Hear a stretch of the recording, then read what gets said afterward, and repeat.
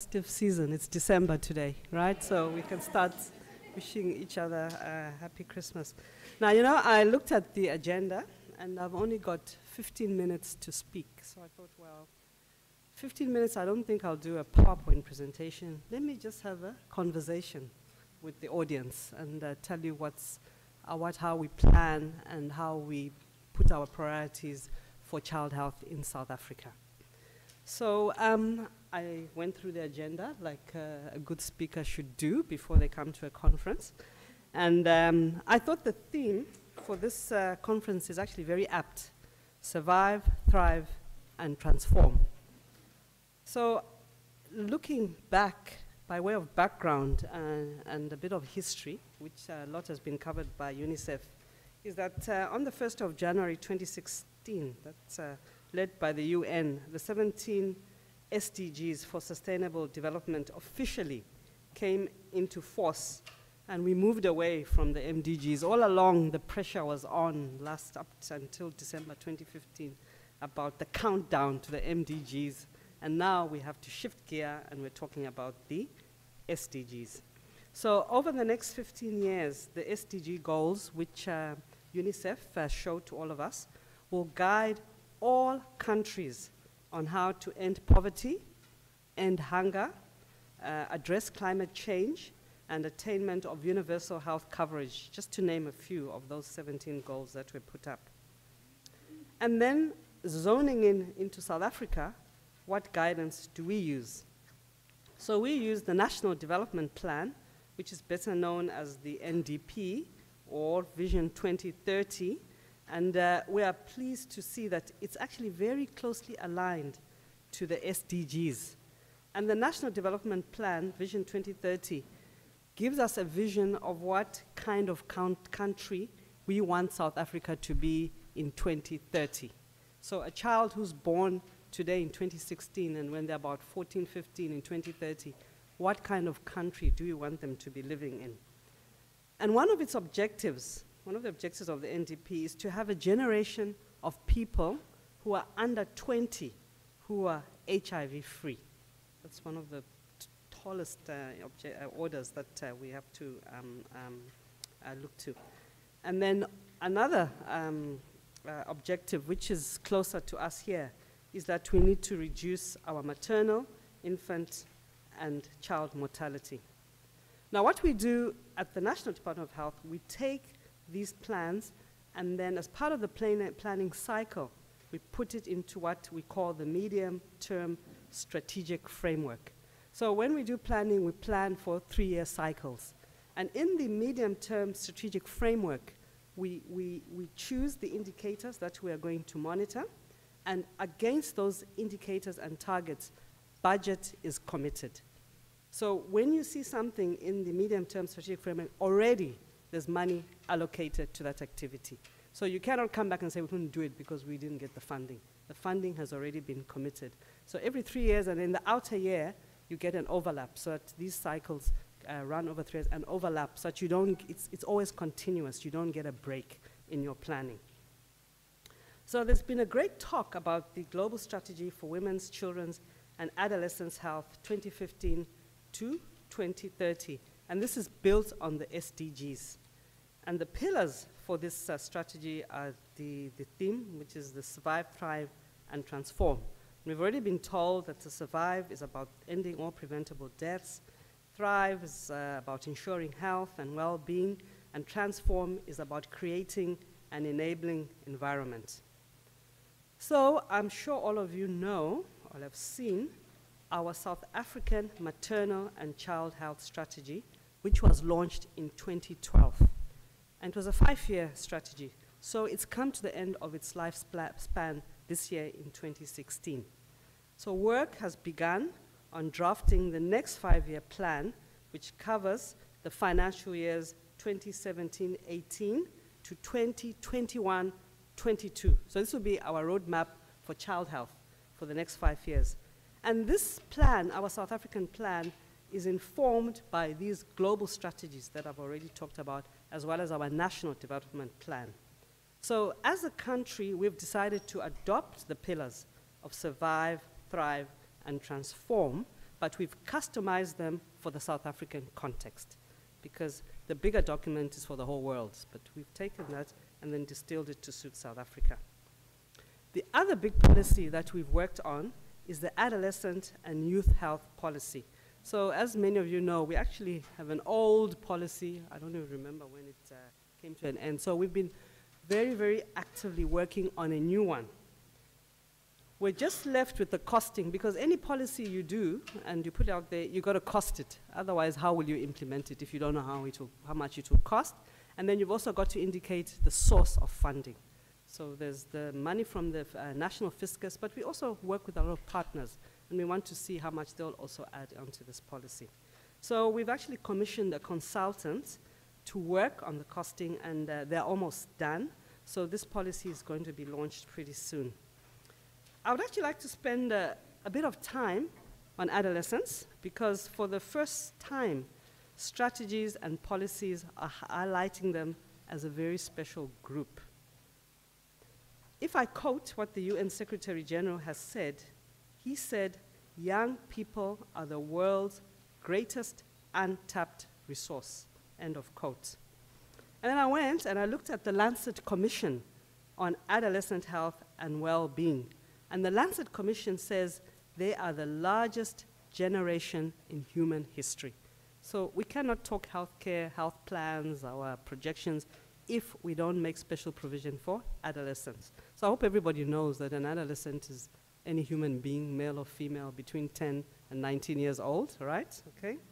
And so in South Africa, just like in many parts of the world, they form 18% of our total population. So Stats SA tells us there are 40, 54 million people in South Africa, and 18% of those are actually uh, people aged uh, under between 15 and 24. So they're a very big group.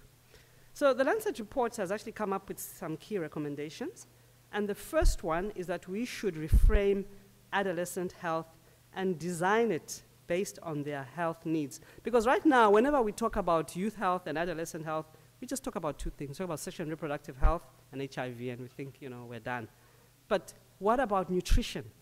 You know, we have a big obesity problem in South Africa, and a lot of these young people are obese. I mean, some are malnourished, but I think more are obese. What about mental health for adolescents? Violence and injury is a very big area, and chronic illness. As I watched uh, the interview of the little girl with the cardiopulmonary illness, I mean, she, she, she's a young uh, person, and we, we, we, you know, with a chronic, we had a chronic illness. But in our policies, we say very little about helping uh, young people like that.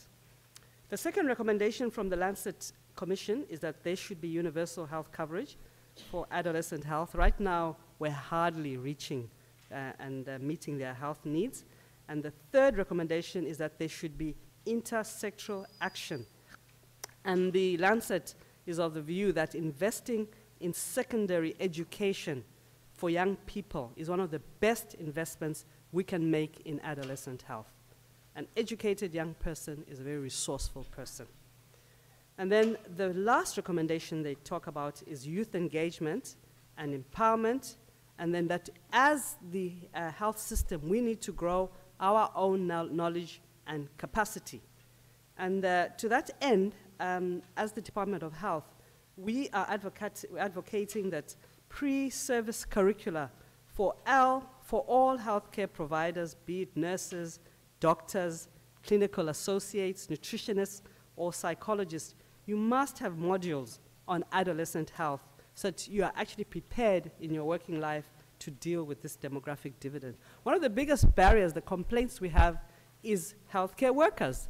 They are so judgy. They don't, they don't, and that keeps young people away from our health facilities. So that kind of uh, barrier, we really need to work on it and remove it. And then the other problem is that our M&E systems don't have age disaggregated data. So my unit and I, we really pushed, you know, when you worked with, with health information people, I don't know if you've worked with that unit, you really have to be, you have to have a thick skin and be very patient. So our patience paid off. So I'm pleased to share with everybody here that the next national indicator data set will now have an age disaggregate, will have uh, an indicator on age disaggregated da data for the PHC headcount. So we'll know uh, which facilities are actually um, attractive to young people, and young people come to that facility. We are also going to break down the data for teenage pregnancy, so we'll know the age groups of uh, teenagers who are actually getting pregnant. Because right now we just know that um, uh, in our facilities, the indicator is that it's uh, deliveries to girls who are under 18 years of age. And it hovers for the past couple of years, 70,000, 72,000, which is very high. So now we'll break it down. We'll know exactly how old these girls are. And then we're also going to have disaggregated indicators for contraception. So we'll know what ages uh, uh, girls are when they get their contraception. And then we'll also have age disaggregated data for the termination of pregnancy. So we'll also know. So I think that's uh, something we've managed to, to, to, to, to um, move forward and to help with our planning. Then another note, on the 27th of November, not too far away ago, was World Prematurity Day, and the minister led an event at a clinic in Tshwane district, which was focusing on prema prematurity, naturally, and uh, the promotion of breastfeeding. But at this uh, event, uh, the digital um, format of the Road to Health booklet was also launched. So now you can download the Road to Health booklet and you can register a child, and then you get reminders on when you're supposed to take your baby for weight checks, uh, when the child's supposed to get the immunization, when the child should get their vitamin A, deworming, and so on. So we're really trying to also be, um, uh, uh, uh, you know, being digital and moving forward with technology. But at this event, Minister also announced that antenatal visits will also go up from the current four to eight prenatal visits now. But interestingly enough, the last four will happen in the last trimester because that's when things tend to go wrong. Okay? So we're working on the tools, we're working on uh, the training. So this is something that we really have to implement quite fast. Then, the first 1,000 days. See, I got my pin here. Uh, is very important. But others would argue that uh, first 1,000 days is actually too late. What about pre 1,000 days? Okay? And the pre 1,000 days is how someone prepares for pregnancy, but also access to family planning. Because we all know that the first intervention in reducing neonatal mortality is access to uh, family planning. The pregnancy must be wanted. So I would really like us to not just start bang first 1,000, but let's just look at the time period just before the first 1,000 days. So ladies and gentlemen, the current under five mortality rate is now 38 uh, per thousand, and the SDG target is 25 per thousand. So I don't have to draw a graph to show you what sort of steep we need to take. And then, uh, sadly to say, South Africa still has a significant number of child deaths that are associated with HIV. And we also know that we still have children who die from malnutrition. So I'm pretty sure that many children with malnutrition actually have, uh, have underlying HIV and or TB. But whatever the cause of that malnutrition is, it's of uttermost importance that each health facility has enough feeding supplements. This is such a simple intervention, and it really baffles me why we just can't get it right just having, I mean, they're not the most expensive thing that we buy in our district, but somehow they are the least prioritized. Budget allocations have to be made to make sure that we have no stockouts. Their distribution must not be a preserve of the nutritionists, but all health professionals who need to issue them to patients must be able to get the supplements and give them out to those children. There's no point in, in hoarding them. What are you going to do with them? You know? So the district health plans must clearly stipulate that feeding supplements will be available. And you know, we actually wrote to your head of departments. We, we did the um, calculations for you. We told you how many you need and what is the budget allocation. But it seems we're still not getting over that. So please, my appeal, if, if anything you take back, let's do that uh, where you're working. Now, with regards to um, HIV, okay, we're going to have a whole session on elimination. But uh, like I said, we still have children with HIV. So we, the 90, 90, 90 targets and the ensuing cascade, cascade form part of the whole approach. But in order to, to, to, to, to implement these 90, 90, 90 targets, we must find the children. I think that's the most important aspect of this 90, 90 thing. You must find them, all right? Otherwise, you know, it remains a pipe dream. So we need to be very innovative. Like, for instance, let's go to the parent support groups and ask them about their children because that's where we'll find the children. Let's follow the orphans and vulnerable children. That's where we'll find the children. So I'd really like people to come up with ideas and ways of actually getting this 90-90-90 working for children, okay? And then immunization is the other very big program that I run. And the aim is that we have to keep coverage above 90% for us to get the benefits of immunization. And then one area that's not given enough attention is polio eradication. That's one of the big global strategies that's out there, that we need to eradicate polio the same way we eradicated smallpox. Polio is the next one. And uh, the surveillance system that we run is the acute, acute flaccid paralysis surveillance. And I think all of you know the kind of problems we have with this surveillance. There are some districts that are silent. They are not reporting at all. And this is great, of great concern because it puts South Africa at great risk of missing any polio case, whether it's imported or otherwise, and then suddenly you can imagine such something like that were to happen. So I'd really like to remind everyone on the importance of this indicator, and just to help you remember, we're actually going to take the HP, AFP indicator, acute flaccid paralysis, and it's going to be added to the dashboard reports that we send out to you. So no one can tell me that they didn't know that this is something we need to look at.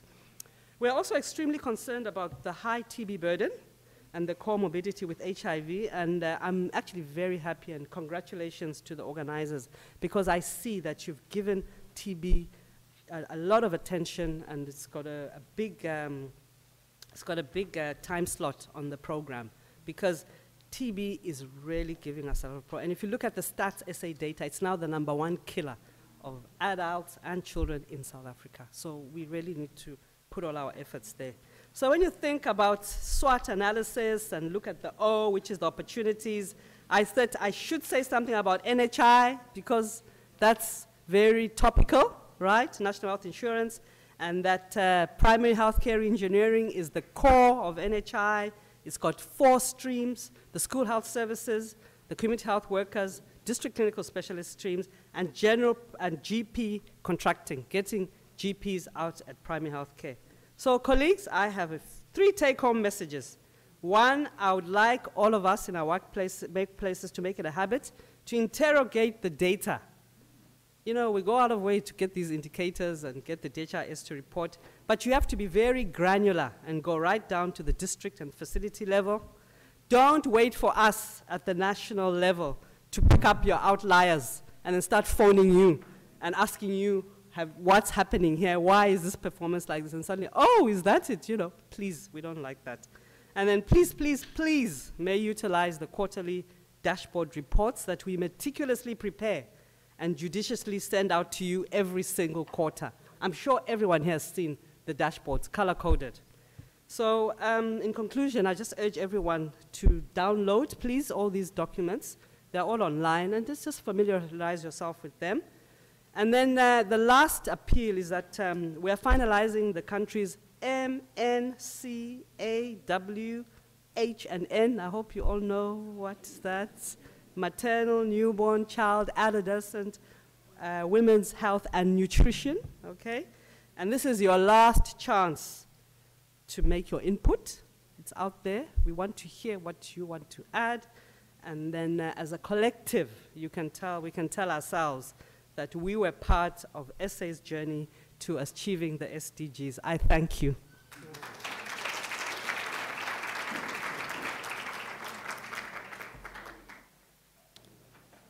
Okay, thanks, Nonhlanhla. You had a tough job in 15 minutes to give us all the good news and the excitement you had to uh, enthuse us with. I allowed you a little bit of leeway, but that's because I think we needed to know a lot of the the progress and the plans of the National Department of Health. So uh, thank you for exciting us with some of the new developments. Um,